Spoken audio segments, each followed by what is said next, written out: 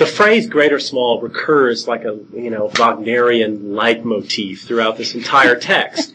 Why is that? Well, it's absolutely significant for a number of reasons. First of all, if you read Aristophanes' Clouds, which in the Apology Socrates claims is the basis of the accusations against him, Socrates is portrayed as a student of nature who's interested in great things like mapping the whole earth and knowing how the, the heavens are organized. And in very small things like the feet of fleas and the anuses of gnats and things like that. But he is totally ignorant of middle-sized things, and the most important middle-sized things are human beings living in cities trying to struggle their way through life and lead a good life. He's totally ignorant of all that. Now here, Socrates is saying, I am not wise in anything, great or small, is a denial of that specific portrayal of himself in Aristophanes as, if you will, a natural philosopher or scientist who's interested in great things and small things and is ignorant of the middle. Here, the claim he's not wise in anything great and small is completely consistent with claiming that human wisdom is about the middle. And what lies in the middle? Well, the human realm. And, and this is important. This image of the middle will recur when we look at some of the passages out of the symposium. There's a, there's a kind of perennial mythic quality to this image of the middle. In the Greek, the term is metaxou. And what does the middle mean?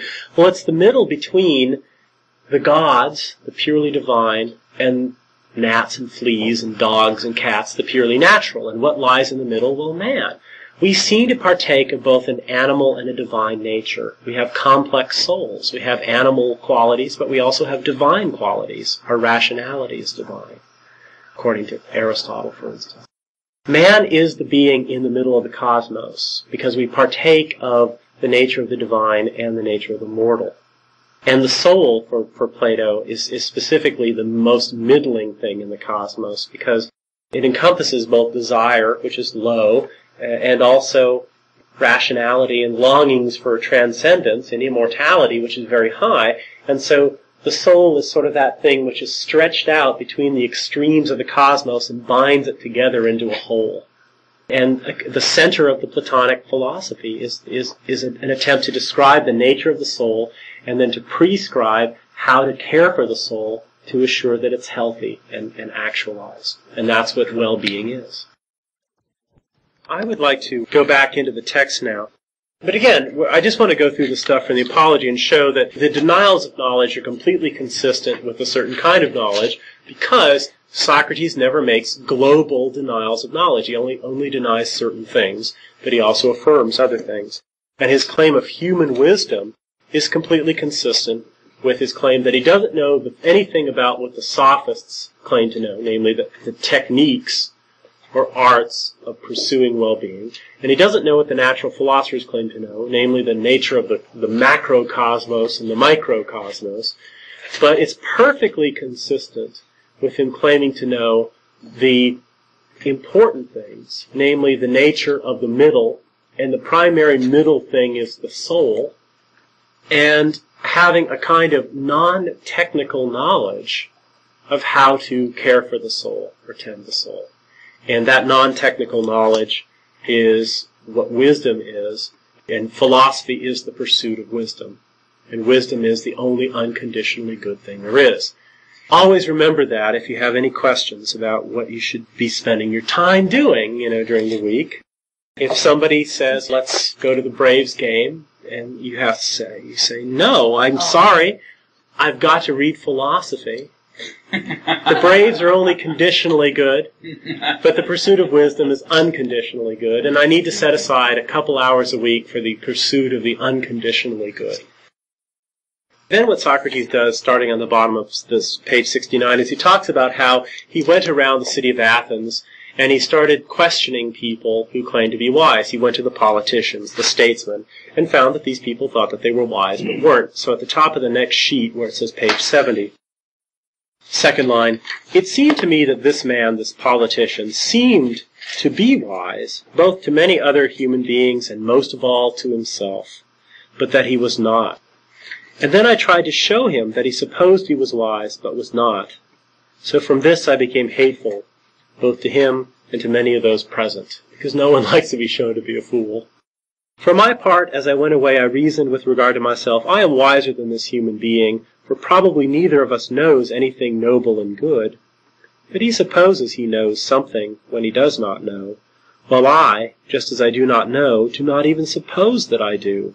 I am likely to be a little bit wiser than he is in this very thing, that whatever I do not know, I do not even suppose I know. Now, knowledge of no, what, what's noble and good is kalos agathos, which is the Greek term that's best translated as gentlemanliness. It means noble and good. Kalon means the noble or fine, and agathos means the good. The sophists claim to teach gentlemanliness. Socrates doesn't claim to have knowledge of that in the sense that the sophists are claiming, namely a technique for teaching that. He does have knowledge of the noble and good in another sense, namely the sense in which philosophy pursues knowledge of the right use of all things, which presupposes some knowledge of the good or the fine, the noble. We have to be careful about that. So then he talks about how he went on to the poets. The poets didn't know anything either, but they thought they knew something, and so he showed them that they didn't know what they thought they knew, and went away much disliked. And then at the on page 71, this a little above the center, he says, Finally, then I went to the manual artisans, the craftsmen. Now these people did know something. And this is why he's always using craft analogies or art analogies to talk about wisdom. Because wisdom has a certain knowledge component to it, where and he never uses a poet analogy or a statesman analogy because the statesmen and the poets think they know something but don't.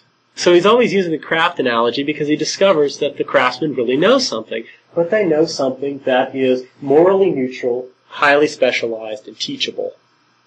But it is still knowledge and it is still practical. And, the, and therefore it's a, it's a useful thing to liken wisdom to. But he also says, Finally then I went to the manual artisans, for I was conscious that I had knowledge of nothing, so to speak, but I knew that I would discover that they at least had knowledge of many noble things. And I was not played false about this. They did have knowledge of things which I did not have knowledge of, namely the crafts.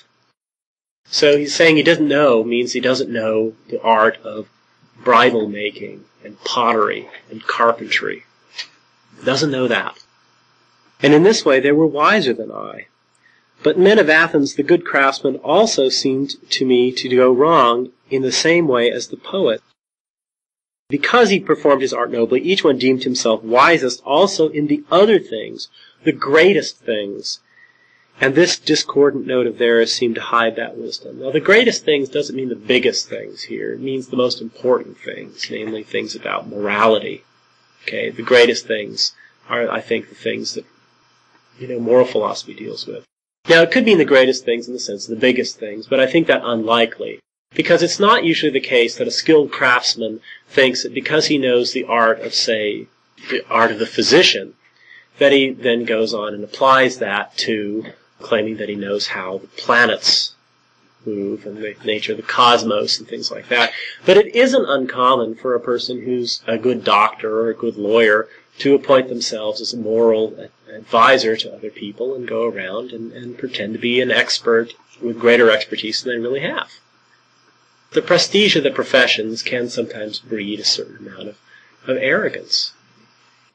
The relationship between philosophy and poetry is very delicate. I, have just been reading a book by this guy named Julius Elias called Plato's Defense of Poetry, and it's just a magnificent book. I wish I had written it. Plato's Defense of Poetry. And Plato does attack poets, but the fact of the matter is, is that Plato is a poet.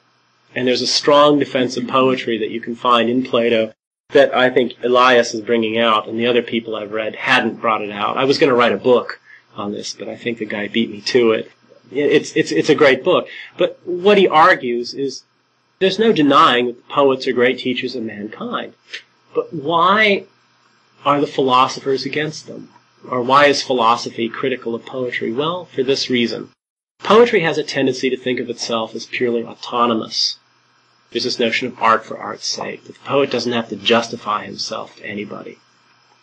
Plato is very much against that view. Why? Because nothing is autonomous for Plato except for wisdom.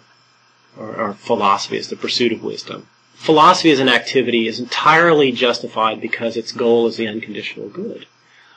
Art has many different aims. It aims for fame, it aims for pleasure, and it also aims to teach. And it also aims towards wisdom too. Great artists are oriented towards wisdom. But the but the fact that art has so many conflicting aims means that it needs to be governed by something higher than itself. Just like technique, arts in the sense of techniques need to be governed by wisdom. Because art can be used badly. Right? But can't philosophy be used badly? No. Philosophy can never be But used you're, You're assigning a purity philosophy. I mean, some I mean- people argue Heidegger and and Nietzsche were, were the Nazis' philosophers in a sense. But the objection to them should be not that they used philosophy badly, but that they failed to be philosophers. That's how Plato would say it. If you Or find a bad philosopher, they're not really philosophers. He He's has a not very- holding himself the same criteria that he's holding the, the and the No, and and and, he, and indeed he can't because if he does, then we just have a collapse into a kind of relativism. There's got to be some access to absolute standards by which everything else can be judged, and if philosophy doesn't provide that, then nothing can. If philosophy is conditionally good, then it has to reach for something else to guide itself, and what else is there? Well, it could reach the poets, but the poets need the philosophers, and we have this circle. The quest for the absolute collapses, the, the point against the poets is simply this. The poets claim that they are autonomous in some sense. That poetry does not need anything to govern it. That it can exist and be justified in and of itself. Now, poetry can be a source of great wisdom, but only if it aspires to be philosophic. But the poets are also sources of great corruption. The rappers are poets too. The Beatles were poets too. Lucy in the Sky with Diamonds is poetry too. And the fact is, is that a lot of this stuff isn't good for the soul. A lot of it's crap.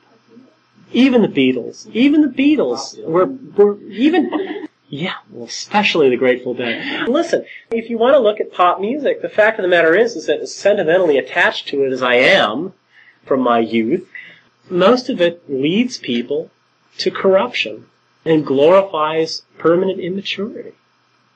Most of it's wicked. And Plato would have driven them out. The only ones who would have survived would probably be U2. Lawrence Welk. Lawrence, no, not, not even Lawrence Welk.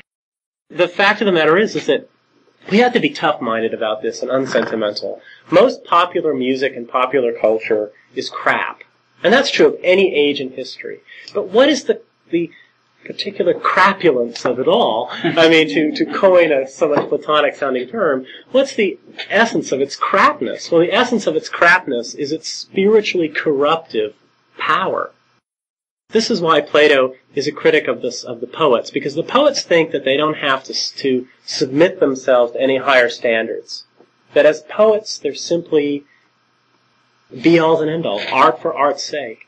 Plato believes that art is absolutely necessary, and indeed, I think that Plato himself indicates that poetry, in a sense, can get you to deeper truths than philosophy itself.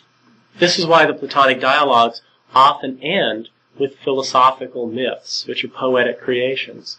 But the difference between Platonic poetry and the autonomous poetry of the other great artists of the time is that Platonic poetry is governed by the orientation towards the care of the soul, towards the good. Platonic poetry is edifying. It's unfashionable to be edifying. Modernist tastes hate edification, right? The Ezra Pounds of the world hate edification. The attack on Dante is merely edifying. Is a sign of a, of a deep sickness of the soul for Plato.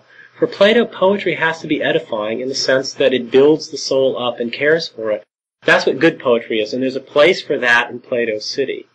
But the bad poets, the ones who corrupt the soul, or are just about vanity or about pleasure or whatever, they have to go.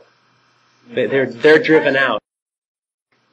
When you have kids listening to music that glorifies rape or cop killing and things like that, there, there's an example of something bad. Because that, that sugarcoats acts that are truly evil. The funny thing in, in books two and three of the Republic, when Socrates talks about the things that need to be edited out, you, if you'd make a list and then you set down the Iliad and you start saying, well, this has to be blue penciled and this has to be, it, pretty much it's all gone. Because as, as magnificent as, as Homer is, he constantly shows the gods to be evil. And that's deeply disturbing. Because if the gods are evil and the gods are the models for men, then the Greeks had a serious problem. The Greeks really did have a problem. Father Zeus, the king of the gods, the patron of, of, of the family, was a notorious philanderer who castrated his father and threw him out of office. How can this how can this figure be treated as the guardian of family values? And yet he was. And this was deeply problematic for the Greeks. And Socrates says we if we want to make ourselves better people, we have to do away with our gods. They're corrupting us. You would never want your children to grow up to be like the gods. Whereas it's much easier to say you'd like your children to grow up to be like Jesus, for instance. I mean, Jesus didn't castrate his father or marry his mother or, or um, cheat on his wife or do all the kinds of colorful, wicked things that the uh, the Greek gods were doing. He didn't steal anybody's cattle. He didn't skin people alive and turn them into bagpipes. Socrates does believe in censorship. We'll put it this way: if if you if we lived in a Socratic society, the pop culture industry wouldn't exist probably. Sad to say, it would be more like Iran than it would the United States. But just we have to be frank and honest about this. But the pop culture industry would be the plug would be pulled on it. Why? Because most of it is bad for the soul. You listen to the absolute rank sentimentality of most popular music, or the glorification of aggressive and violent attitudes in most of this music or, or just or just sheer sheer dulling bad taste of a lot of this music. You have to say that it's not good to be brought up on a diet of that stuff. Now there's some of it that's good. One of the great things about being human too is the fact that we can learn from mistakes and we don't pass on the mistakes to the next generation. And so the idea is that we should have gained enough wisdom, culturally speaking, by this time to know certain kinds of things are not right. So we don't have to make certain mistakes over and over, and we don't have to allow every generation to make the same mistakes of the past, because we can learn from the past. We don't let every generation start out like the cavemen started out, raping women and, and, and enslaving weak people and things like that. Uh, we teach them these are wrong because through long experience we've discovered that this is just not the proper way of caring for the soul.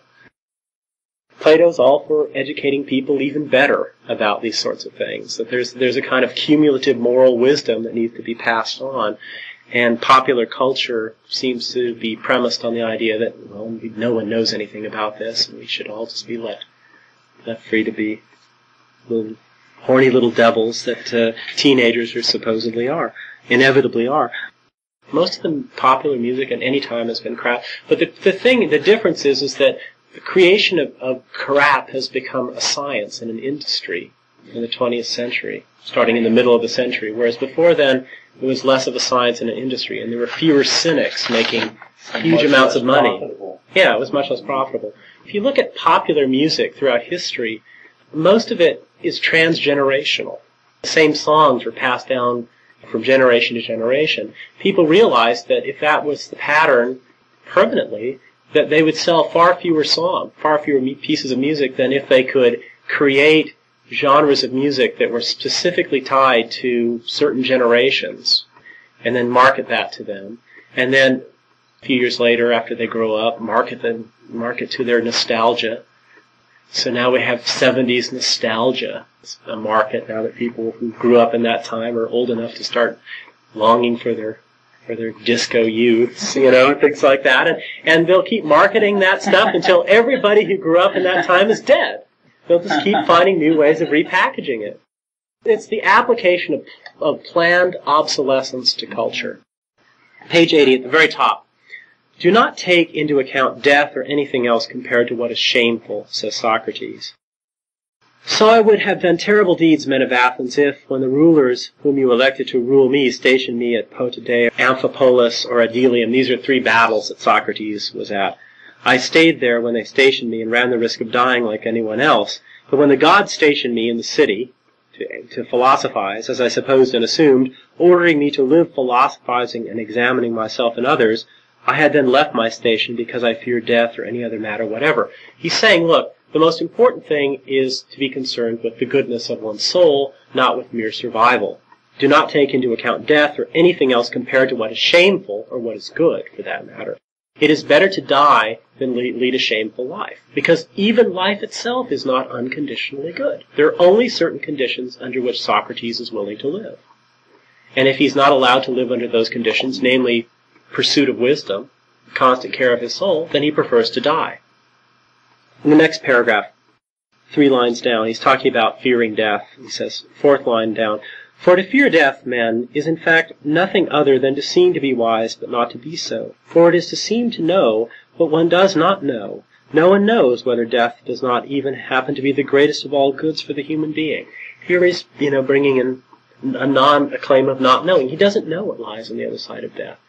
Um, now, the response that I would make, well, is fearing death does not presuppose that you know what happens after death.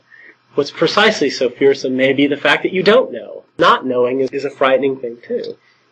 But it's less frightening, maybe, than being certain that once you die, you go to Hades, and you live in a kind of insensate, gibbering condition, and that's for all eternity, or until you sort of fade away into nothingness, which is the Greeks' belief. Now that is a very unpleasant death, and the fact that it was meted, or afterlife, and the fact that it was given out to virtuous and vicious alike, usually without any distinction, sort of upset the whole moral order of the cosmos in Plato's view. So one of Socrates' claims that has to be, uh, he says, has to be written into proper myths is that the, the good are treated better after death than the evil. So he'd love uh, he'd love the, the, Divine Comedy. That lays it out very nicely. You know, people gnawing on one another's skulls and you know, the deeper levels of hell, in, in appropriate to their bad behavior in life. A little further down, a little below the center of the page, he says, "But I do know that it is bad and shameful to do injustice and to disobey one's better, whether God or human being." So compared to the bad things which I know are bad, I will never fear or flee the things about which I do not know whether they even happen to be good. So here's a very strong knowledge claim. He doesn't know what happens in Hades, but he does know that what happens in this world when you behave shamefully is that you become wretched. He says, I do know that it is bad and shameful to do injustice and to disobey one's better, whether God or human being. So compared to the bad things which I know are bad, that's a strong knowledge claim. And Socrates is always making strong knowledge claims about good and bad. That's what he knew. He's a moral philosopher. And how does he know this? Because goodness and badness inhere in the soul. And he knows the nature of the soul. Next column, page 81, about eight lines down. He says, What would I say to you if you told me, well, Socrates, we'll let you live, but we won't let you philosophize? Will you live under those conditions? And he says, I, men of Athens, salute you and love you, but I will obey the god rather than you. And as long as I breathe and am able to, I will certainly not stop philosophizing, and I will exhort you and explain this to whomever of you I happen to meet, and I will speak just the sorts of things I am accustomed to. Quote, Best of men, you are an Athenian from the city that is greatest and best reputed for wisdom and strength. Are you not ashamed that you care for having as much money as possible, and reputation, and honor, but that you neither care for nor give thought to prudence and truth and how your soul will be the best possible. And if one of you disputes it and asserts that he does care, I will not immediately let him go, nor will I go away, but I will speak to him and examine and test him. And if he does not seem to me to possess virtue, but only says he does, I will reproach him, saying that he regards the things worth the most as the least important, and the paltrier things as more important. So this is the, the core of Socrates' philosophizing, is exhorting people to care for the soul. Why does he do that? Because he knows that this is what well-being is. The beginning of the next paragraph. Know well then that the God orders this, and I suppose that until now no greater good has arisen for you in the city than my service to the God. He's God's gift to Athens. That's a strong claim. For I go around to do nothing but persuade you, both younger and older, not to care for bodies and money before, nor as vehemently as how your soul will be the best possible. I say not from money does virtue come, but from virtue comes money and all the other good things for human beings, both privately and publicly. Next sheet. We come to another very strong knowledge claim at the top of the next sheet. Third line down. Perhaps then someone might say, by being silent and keeping quiet, Socrates, won't you be able to live in exile for us? It is hardest of all to persuade some of you about this. For if I say that this is to disobey the god, and that because of this it is impossible to keep quiet, you will, be not, you will not be persuaded by me on the ground that I am being ironic. And on the other hand, if I say that this even happens to be a very good thing for a human being, to make speeches every day about virtue and the other things about which you hear me conversing and examining both myself and others, and that the unexamined life is not worth living for a human being, you will be persuaded by me still less when I say these things. This is the way it is, as I affirm men, but to persuade you is not easy. That's a strong knowledge claim. The unexamined life is not worth living. What's the examined life? The life of pursuing wisdom. What's the unexamined life? The life of stagnant folly.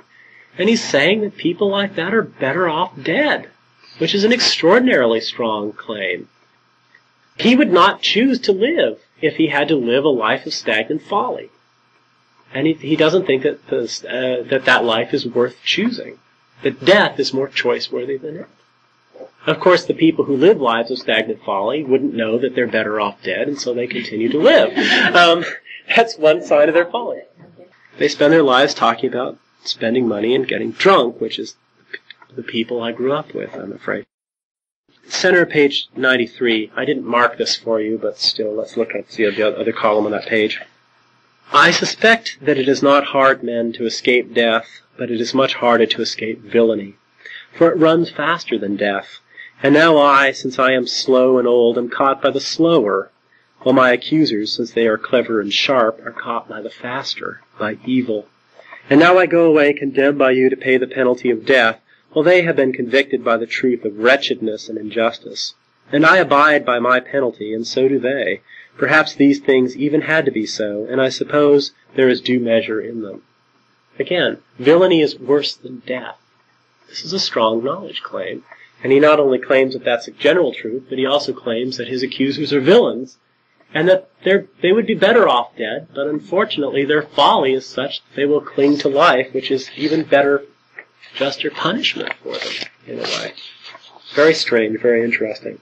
Now, the two excerpts from the symposium, I'm going to give these sh- short shrift, I'm afraid, in the interest, in interest of time, but I just want to point out two knowledge claims which are interesting on the first sheet, Symposium Excerpt 1, where it says 198D in the margin of the left side, well, actually, where it says 198C, just above it, he's talking about a speech about love that he's just heard. His speech made me think of Gorgias, which is appropriate foreshadowing, so that I was struggling on like that character in Homer I was afraid, uh, namely the Gorgon, okay. I was afraid that at the end Agathon would hold up the terrifying head of Gorgias in his speech, cast it at my speech, and turn me into a wordless stone. Which is sort of, the Gorgias head will turn anyone who looks upon it into stone. It's a, it's a cute joke. When I realized that it was ridiculous of me to have agreed to join in with you in praising love, and to have claimed that I was terrific in the activities of love, this is something of a bad translation. I mean, he says that he is he is expert in the erotic things. That's what he claims. The, the most literal, the literal translation would be knowledgeable of the erotic things, or expert in the erotic things. Socrates claims to be phenomenally knowledgeable about erotic things. Okay, what does that mean? Well, let's look at the next excerpt. Again, uh, this is wonderful because it talks about how the soul desires or the, the, the erotic drives of the soul are ultimately towards self-perfection and immortality. Even though they begin with fascination with the beauty of bodies, they're really directed towards the good of the soul, and that's an eternal kind of goodness. The center of page 45, the left-hand column here, just uh, the right-hand column, I'm sorry, just above the center, Diotima, who's giving Socrates secrets of love, says, then how do you expect to become expert in the erotic things if you don't comprehend these matters. Again, Socrates is becoming expert in eros. What does that mean? Well, let's flip to the next page, Theages. The Theages is a dialogue that's been claimed by 19th century German philologists to be spurious for no really good reason.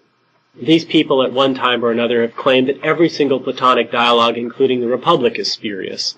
Why? Because once they got it into their heads that by using their, as they call it, Platonisches Gefühl, their feel for Plato, they could decide whether a dialogue didn't fit in with their feel for Plato. And lo and behold, once they accepted that methodological premise, they, at one time or another, excluded them all as spurious.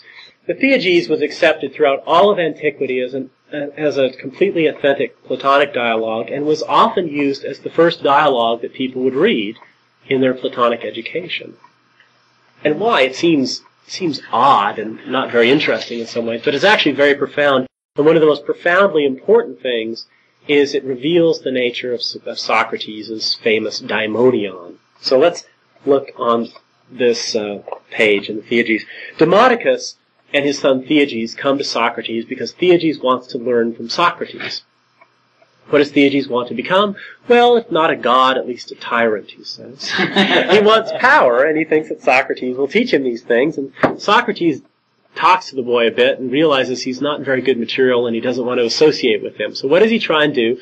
He tries to find him somebody who would, who would benefit him more. And the first thing he tries to do is he says, Theages, maybe you should just learn from your men like your father, you know, who are statesmen, the art of being a statesman. And he says, no, no, I'm not going to do that because Socrates, I've heard that you argued that these statesmen don't teach their own sons how to be statesmen, so how could they teach anybody else? You'd think they'd teach their sons if they had an art, but they don't. So he wants to go to Socrates, and Socrates says, well, if you won't stay with your father and his friends, why don't you go to a sophist? He just wants to get rid of this kid somehow. Go to the sophists, my boy. And this is what he's saying on this page at the little below the center of 142, the left-hand column.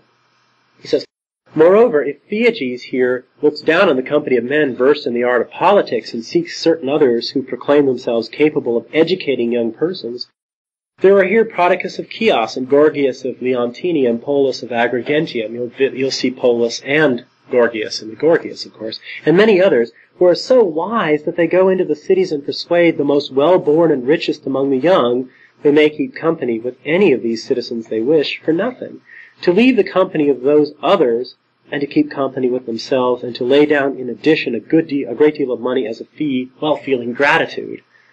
It would be reasonable for your son and you yourself to choose some of these, but to choose me, as a teacher that is, is not reasonable, for I know none of these blessed and noble subjects of knowledge, namely the techniques of becoming a gentleman, the techniques of, of well-being that the sophists teach, or propose to teach. I wish I did. Rather, uh, I always say surely, that I happen to know, so to speak, nothing except a certain small subject of knowledge, what pertains to erotic love, or the erotic things. The Greek is ta erotica. You could translate it as erotics. Ta physica is translated as physics. So erotics. Okay, well what is erotics? As regards this subject of knowledge, Socrates says, to be sure, I rank myself as wondrously clever beyond anyone, whether human beings of the past or of the present. That's a very strong knowledge claim. Now, what does knowledge of the erotic things mean? Well, he goes on and he explains one thing that it does mean, and this is extremely interesting. Do you see, father, Theages says, Socrates is not at all, in my opinion, willing to spend some time with me, since for my part I am ready if he were willing. But he says these things to us in jest, because I know boys of my age and a little older, who before they kept company with him were of no account, but since they started to frequent this man, in a, in a very brief time became manifestly superior to all those to whom they were previously inferior. And Socrates says, Do you know then what sort of thing this is, child of Demodocus? The question he's asking about is knowledge of erotic things. Now, Theages misunderstands the question. This is one one reason why, or one sign of why Socrates doesn't think he's good material. He misunderstands everything. He's very much caught up in himself. I do by Zeus that if you wish, I too shall become like those. He's thinking Socrates is asking about what he was just talking about, namely becoming educated. And Socrates says, No, good fellow. No, I'm not asking about that. But has it escaped your notice what sort of thing this is? This meaning knowledge of erotic things. I shall explain to you. For there is something demonic, which by divine dispensation has followed upon me beginning from childhood. This is a voice which, when it comes, always signals me to turn away from what I'm going to do, but never urges on. And if one of my friends consults with me, and the voice comes, it's the same. It turns away and will not allow the action. And to these things I will furnish you witnesses. And then he goes on and gives examples. But what's he talking about? He's talking about his famous daimonion. And what is Socrates' daimonion? Socrates claims in many of the Platonic dialogues at a certain point to have heard a voice. And the voice says, No, Socrates, don't go on with this. And what is this voice? Daimonion is one of these beings that inhabits the metaxu. The Greek word daimon refers to something like an angel. And the daimonion means a little angel, or a little, little daimon. And it's Socrates' if you will, guardian angel. And it always steps forward at certain points and says, Socrates, don't do this, or Socrates, your friend, shouldn't do this. And what is he doing here? He's saying that his daimonion, which is so famous, which always tells him what not to do, it gives him prudent advice, practical advice, is the same as his knowledge of the erotic things. Now, what does the knowledge of erotic things mean? Well, for Plato, eros is his term for the, the energy and the life of the soul. And knowledge of the erotic things means knowledge of the soul. And Socrates' knowledge of the soul is his foundation of his moral philosophy.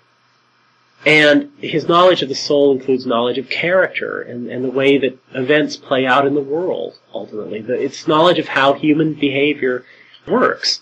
And it's on the basis of this knowledge of the nature of the soul, the different types of characters, the different forms of health and deformity of the soul, that allows him to say that, uh-oh, this is not the right thing to do. And he personifies this insight into the soul and the insight it gives him into right and wrong actions by referring to it as a daimonion. But a daimonion is a, is, is a thing that is in the middle realm, and this is exactly the realm that his human wisdom encompasses. This is the strongest knowledge claim in Socrates, the claim that he is stupendously learned more than any other human being about erotic things. And that is equivalent ultimately to claiming that he is stupendously learned about the nature of the soul and how to take care of it in practical circumstances. The daimonion is the voice of his knowledge, or it's his personification of his knowledge of the soul that guides his actions and the actions of his students and friends. So this is what Socrates knows. It's knowledge of the nature of the soul, its health and its deformities, its debilities, its sicknesses. And it's, it's not only a descriptive knowledge, but it's a prescriptive knowledge because it gives practical advice for how to care for the soul.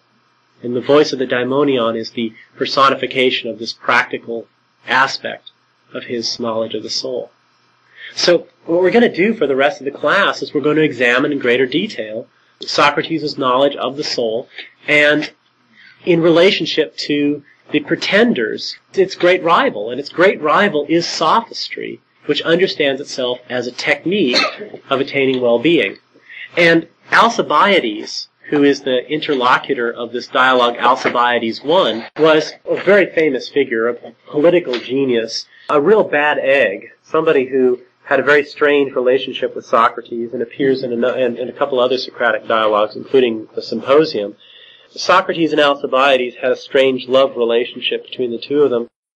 But they were very, very different because Socrates was a, the paradigm of the man who had very little but attained great well-being, whereas Alcibiades is, is the model of the man who had all the advantages of good fortune and turned into a monster and came to a very unhappy end. And yet the two were attracted to one another. Socrates, because he saw the enormous potentiality of Alcibiades for good or evil, and tried to direct it towards the good.